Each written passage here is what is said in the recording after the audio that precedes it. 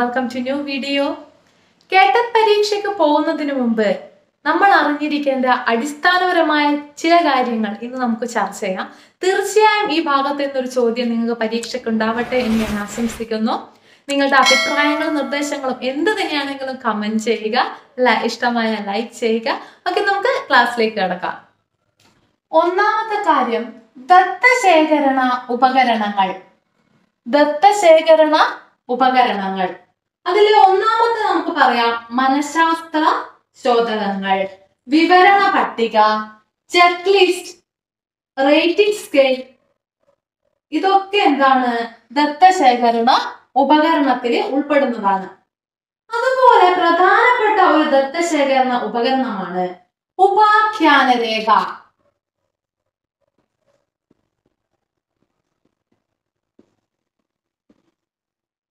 ഉപാഖ്യാന രേഖ പ്രധാനപ്പെട്ട ഒരു ദത്തശേഖരണ ഉപകരണമാണ് ഉപാഖ്യാന രേഖ എന്താ ഉപാഖ്യാന രേഖയുടെ പ്രത്യേകത? അല്ലെങ്കിൽ നമുക്ക് ഇന്ന് ഇംഗ്ലീഷിൽ എങ്ങനെയാ പറയാ? അനക്ടോട്ടൽ റെക്കോർഡ് അല്ലെ? എന്താ ഇതിന് പറയാ?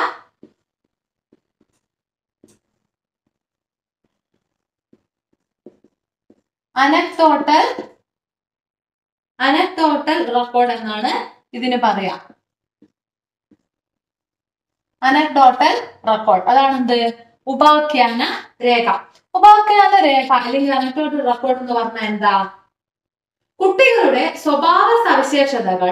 അപ്പപ്പോൾ അധ്യാപകർ കുറിച്ചു വെക്കുന്ന രേഖയാണ് ഉപാഖ്യാന രേഖ. അതേ സ്പോട്ടിൽ തന്നെ എന്ത് ചെയ്യും? അധ്യാപകർ കുറിച്ചു വെക്കും. അതാണ് എന്ത് ഉപാഖ്യാന രേഖ. മറ്റൊന്നാണ് ഇതിന്റെ ഈ ഒരു ചോദ്യം പലപ്പോഴും ഉണ്ടാവാറുണ്ട് കേട്ടോ. അടുത്ത വേറൊന്നാണ് എന്ത്? സഞ്ചിത രേഖ എന്താണ്? സഞ്ചിത രേഖ സഞ്ചിത രേഖ സഞ്ചിത രേഖ ഓക്കെ. ഉപാഖ്യാന രേഖ അനക്ടോട്ടൽ റെക്കോർഡ് എന്താണ് നമ്മൾ പറഞ്ഞു. അപ്പപ്പോൾ അധ്യാപകർ കുറിച്ച് വെക്കുന്നതാണ് ഉപാഖ്യാന രേഖ എന്ന് പറഞ്ഞു. അതായത് കുട്ടികളുടെ സ്വഭാവ സവിശേഷതകളൊക്കെ അല്ലെ? അടുത്ത സഞ്ചിത രേഖ എന്ന് പറഞ്ഞാൽ എന്താ? ഒരു കുട്ടി ഒരു സ്ഥാപനത്തിൽ ചേരുന്നത് മുതൽ അവിടുന്ന് വിട്ടുപോകുന്നത് വരെയുള്ള മുഴുവൻ കാര്യങ്ങളും കുട്ടിയുടെ സ്വഭാവ സവിശേഷതകൾ മുഴുവനും ഉൾപ്പെടുന്ന രേഖയാണ് എന്ത്? സഞ്ചിത രേഖ. ഇത് നമ്മൾ ഇംഗ്ലീഷിൽ എന്താ പറയാ? ക്യുമുലേറ്റീവ് റെക്കോർഡ് എന്താ പറയാ? Cumulative record cumulative record okay അപ്പോ ദത്തശേഖരണ ഉപകരണങ്ങൾ കുറെ ഉണ്ട്. മനഃശാസ്ത്ര ചോദ്യങ്ങൾ വിവരണ പട്ടിക ചെക്ക് ലിസ്റ്റ് റേറ്റിംഗ് സ്കെയിൽ ഇതൊക്കെ എന്താണ്? ദത്തശേഖരണ ഉപകരണങ്ങളാണ്. അതിൽ പ്രധാനപ്പെട്ട ഒരു രേഖയാണിത് ഉപാഖ്യാന രേഖ. നമ്മൾ പറഞ്ഞു ഒരു കുട്ടിയുടെ സ്വഭാവ സവിശേഷതകൾ ഒരു ടീച്ചർ അപ്പപ്പോൾ രേഖപ്പെടുത്തി വെക്കുന്നതാണ് ഉപാഖ്യാന രേഖ അല്ലെങ്കിൽ അനക്ടോട്ടൽ റെക്കോർഡ് എന്ന് പറഞ്ഞു. മറ്റൊന്നാണ് സഞ്ചിത രേഖ. അതായത് ഒരു കുട്ടി ആ സ്ഥാപനത്തിൽ ചെന്ന് അവിടുന്ന് വിടുന്നത് വരെയുള്ള കാര്യങ്ങൾ രേഖപ്പെടുന്നതാണ് എന്ത്? ആ സമയത്തേക്കുള്ള മുഴുവൻ കാര്യങ്ങളും. അതൊക്കെ എന്താണ് മുഴുവൻ അവിടെ നിന്ന് വിടുതൽ ചെയ്യുന്നത് വരെയുള്ള കുട്ടികളുടെ സ്വഭാവ സവിശേഷത രേഖപ്പെടുത്തുന്ന രേഖയാണെന്ത്? സഞ്ചിത രേഖ എന്ന് പറയുന്നത്. അതുപോലെ തന്നെ ചോദ്യാവലിയും ഒരു ദത്തശേഖരണ ഉപകരണമാണ്. ഇനി നമുക്ക് അടുത്ത നോക്കാം. ഈ വാക്ക് നിങ്ങൾ കേട്ടിട്ടുണ്ടാവും ശോധക. എന്താണ്? ശോധക. ശോധകം എന്ന് പറയുന്നത് എന്താ അർത്ഥം എന്താ? ചോദകം എന്ന് പറഞ്ഞാൽ എന്താ അർത്ഥം? ഈ മനഃശാസ്ത്രത്തിൽ നമ്മൾ ചില ടേംസ് നമ്മൾ കേൾക്കുമ്പോൾ നമ്മൾ ചോദിക്കും വേറെന്തോ സംഭവമാണ് അല്ലെ? അപ്പൊ ശോധകം എന്ന് പറഞ്ഞാൽ എന്താണ്? ടെസ്റ്റ് ആണ്. ശോധകം എന്ന് പറഞ്ഞാൽ ടെസ്റ്റ് എന്താ ശോധകം എന്ന് പറഞ്ഞാൽ സിദ്ധി ശോധകം ഇപ്പൊ ഓരോരോ ടെസ്റ്റ് സിദ്ധി ശോധകം എന്ന് പറഞ്ഞ ഒരു ടെസ്റ്റ് ഉണ്ട്. സിദ്ധി സിദ്ധിശോധകം. സിദ്ധി ശോധകം സിദ്ധി ശോധകം എന്ന് പറഞ്ഞാൽ എന്താ? ചിന്തയും ബുദ്ധിയും അളക്കുന്നതാണ് എന്ത്? സിദ്ധിശോധകം. ചിന്തയും ബുദ്ധിയും അളക്കുന്നതാണ് സിദ്ധിശോധകം. ഇനി അടുത്തത് മറ്റൊന്നാണ് നിധാന ശോധകം എന്താണ്? നിധാന ശോധകം മറ്റൊന്നാണ് നിദാന ശോധകം നിദാന ശോധകം എന്ന് പറഞ്ഞാൽ എന്താ? നിദാന ശോധകം എന്ന് പറഞ്ഞാൽ കുട്ടികളുടെ പ്രയാസങ്ങളാണ് ഇതിൽ കണ്ടെത്തുന്നത്. എന്താണ് കണ്ടെത്തുന്നത്? പ്രയാസങ്ങൾ. അല്ലെ? കുട്ടിയുടെ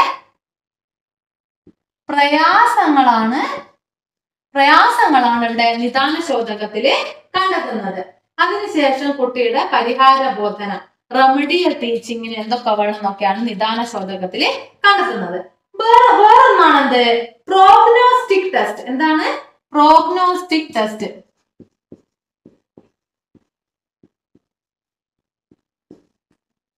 പ്രോഗ്നോസ്റ്റിക് ടെസ്റ്റ് മറ്റൊന്നാണ് എന്ത് പ്രോഗ്നോസ്റ്റിക് ടെസ്റ്റ് എന്ന് പറയുന്നത്. പ്രോഗ്നോസ്റ്റിക് പ്രോഗ്നോസ്റ്റിക് ടെസ്റ്റ് എന്ന് പറഞ്ഞാൽ എന്താ?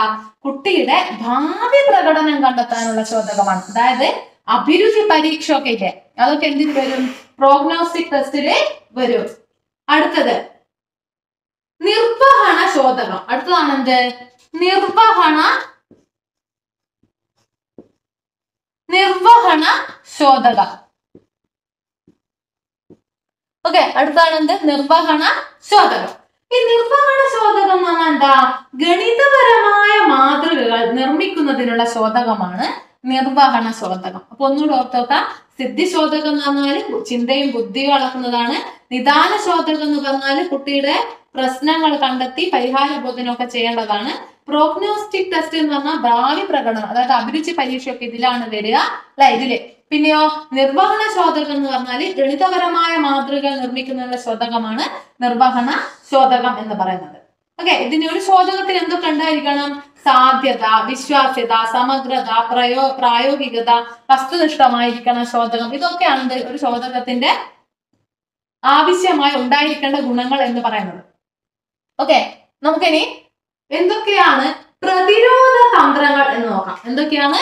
പ്രതിരോധ തന്ത്രങ്ങൾ. പ്രതിരോധ തന്ത്രങ്ങൾ. പ്രതിരോധ തന്ത്രങ്ങൾ പറഞ്ഞാൽ ഒരു ഉദാഹരണത്തിന് ക്വസ്റ്റ്യൻ എങ്ങനെയുണ്ടാവുക അങ്ങാടിയിൽ തോറ്റതിന് അമ്മയോട്. അത് ഏത് പ്രതിരോധ തന്ത്രത്തിൽ നമുക്ക് പറയാൻ പറ്റുന്നതാണ്? അല്ലെങ്കിൽ കുളിക്കും മുന്തി മുന്തിരി കുളിക്കും എന്ന് പറയുന്നത് അല്ലെ? അതൊക്കെ എന്തിനാ വരിക? അതൊക്കെ നമുക്ക് എന്ത്? പ്രതിരോധ തന്ത്രങ്ങൾ പഠിച്ചാലാണ് നമുക്കത് മനസ്സിലാവുക. എന്താണ്? പ്രതിരോധ തന്ത്രങ്ങൾ. ഓക്കെ പ്രതിരോധ തന്ത്രങ്ങൾ. ഒന്നാമത്താണ് പ്രതിപൂർത്തി. പ്രതിപൂർത്തി. ഓക്കെ പ്രതിപൂർത്തി എന്ന് പറഞ്ഞാൽ എന്താ? ഏതിലാണോ പോരായ്മയുള്ളത് അതിൽ തന്നെ പ്രതിപൂർത്തീകരിക്കാൻ ശ്രമിക്കുക. അതാണ് പ്രതിപൂർത്തി എന്താ ഒന്നാമത്തെ ഓർമ്മിക്കുക പ്രതിപൂർത്തി. ഏഹ് അതെന്ന് പറഞ്ഞാൽ എന്താ? ഉയരം കുറഞ്ഞ ഒരു കുട്ടി ഹീലുള്ള ഒരു ചെരുപ്പിടുന്ന നമുക്ക് ഈ പ്രതിപൂർത്തിന്റെ ഉദാഹരണമായിട്ട് പറയാനായിട്ട് കഴിയും. അടുത്തതാണ് രണ്ടാമത്തെ നമുക്ക് എന്ത് പറയാം? യുക്തീകരണം. മറ്റൊന്നാണ് എന്ത് യുക്തീകരണം യഥാർത്ഥ കാരണങ്ങൾക്ക് പകരം മറ്റു കാരണങ്ങൾ നിരത്തി.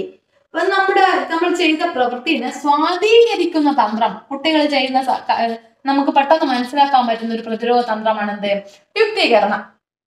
ഉദാഹരണമായിട്ട് കുട്ടി എന്തുകൊണ്ടാണ് ലൈറ്റ് ആയെന്ന് നമ്മൾ ചോദിക്കുമ്പോൾ കുട്ടി കുട്ടിക്ക് തോന്നിയ കുറെ കാര്യങ്ങൾ അതായത് നമുക്ക് വിശ്വാസം തോന്നുന്നു തോന്നിയ കുറെ കാര്യങ്ങൾ നിരത്തി നമ്മളോട് സമർത്ഥിക്കും അല്ലെ അതാണ് നമുക്ക് ഇതിൽ യുക്തീകരണം എന്ന് പറയുന്നത് മറ്റു കാരണങ്ങൾ നൽകി തന്റെ പ്രവൃത്തിയെ അനുകൂലിക്കും. അതാണ് എന്ത് യുക്തീകരണം എന്ന് പറയുന്നത്. അടുത്തത്. അടുത്ത നമുക്ക് പറയാം. പ്രക്ഷേപണം. അടുത്ത എന്താണ്? അടുത്ത എന്താണ്? പ്രക്ഷേപണം. എന്താണ്? പ്രക്ഷേപണം. പ്രക്ഷേപണം എന്താ തന്റെ കുറ്റം മറ്റുള്ളവരിൽ ആരോപിക്കുന്നു. തന്റെ കുറ്റം മറ്റുള്ളവരിൽ ആരോപിക്കുന്നതാണ് എന്ത് പ്രക്ഷേപണം എന്ന് പറയുന്നത്. അടുത്തത് നാലാമത്തത് ദമനം. അതായത് നമുക്കുണ്ടാകുന്ന ആശാഭംഗങ്ങളെ നമ്മുടെ നടക്കാത്ത കാര്യങ്ങളൊക്കെ ഉണ്ടാവില്ല. അതൊക്കെ എന്ത് ചെയ്യും? നമ്മുടെ ഉപബോധ മനസ്സിലേക്ക് തള്ളിവിടുക. അതാണ് എന്ത് ദമനം എന്ന് പറഞ്ഞാൽ അടുത്തത്. അഞ്ചാമത്തെ എന്താണ്? താതാത്മീകരണം. താതാത്മീകരണം. താതാത്മീകരണം എന്ന് പറഞ്ഞാൽ എന്താ താതാത്മീകരണം എന്ന് പറഞ്ഞാൽ? നമ്മുടെ ആവശ്യങ്ങൾ നിറവേറ്റുന്നതിന് വേണ്ടി ഒരു വ്യക്തിയുമായോ സ്ഥാപനവുമായോ നമ്മൾ എന്ത് ചെയ്യും? താതാത്മ്യം പ്രാപിക്കും. നമ്മുടെ അടിസ്ഥാന ആവശ്യങ്ങൾ നിറവേറ്റുന്നതിന് വേണ്ടി ഒരു വ്യക്തിയുമായോ അല്ലെങ്കിൽ ഒരു സ്ഥാപനവുമായോ നമ്മൾ എന്ത് ചെയ്യും? താതാത്മ്യം പ്രാപിക്കുന്നതാണ് എന്ത്? താതാത്മീകരണം എന്ന് പറയുന്നത്. അടുത്തത്. അടുത്ത ആറാമത്താണ് എന്ത്? ഉദാത്തീകരണം.